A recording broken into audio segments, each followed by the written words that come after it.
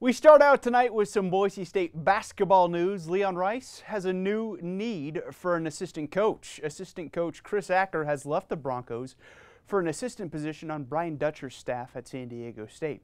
Acker had spent the last two seasons here in Boise. Prior to that, he was an assistant coach at Hawaii for two years. Before that, he was a head coach at West Los Angeles Community College for two seasons.